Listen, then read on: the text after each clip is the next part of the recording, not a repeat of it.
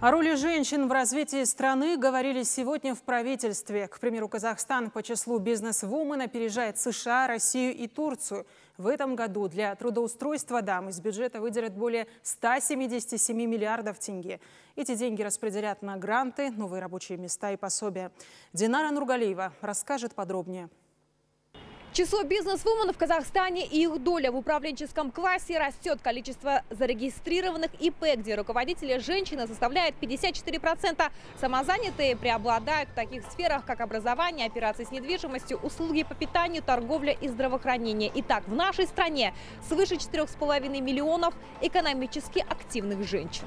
Подспорьем для них станут 177 миллиардов тенге, которые в этом году выделяют из бюджета. Из них 42 миллиарда направят на выдачу кредитов и грантов. Оставшиеся 135 миллиардов распределят на субсидирование рабочих мест среди женщин. На заседании правительства министр труда отметила, с этого года повысили размеры единовременных пособий по рождению ребенка. Семья, в которой появится первый, второй и третий малыш, получит от государства 131 тысячу тенге, а за четвертого и более 217 тысяч до полутора лет увеличен и период выплат по уходу за ребенком и охватит 760 тысяч семей.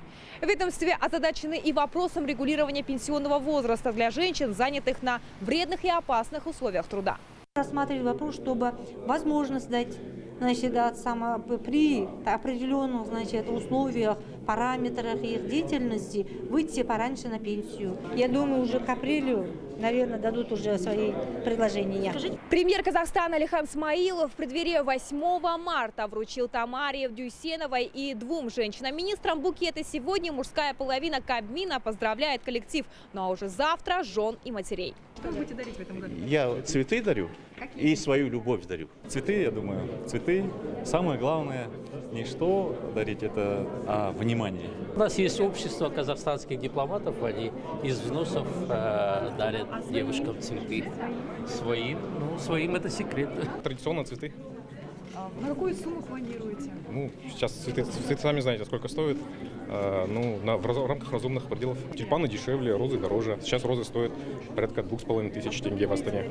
Статистика показывает, что в Казахстане больше женщин, нежели мужчин. И так страна насчитывает более 10 миллионов 118 тысяч женщин. В разрезе регионов больше всего представительниц прекрасного пола проживает в Алматы, Туркестанской и Алматинской областях. Динара Нургалиева, Дидар Елев, Информбюро, Астана.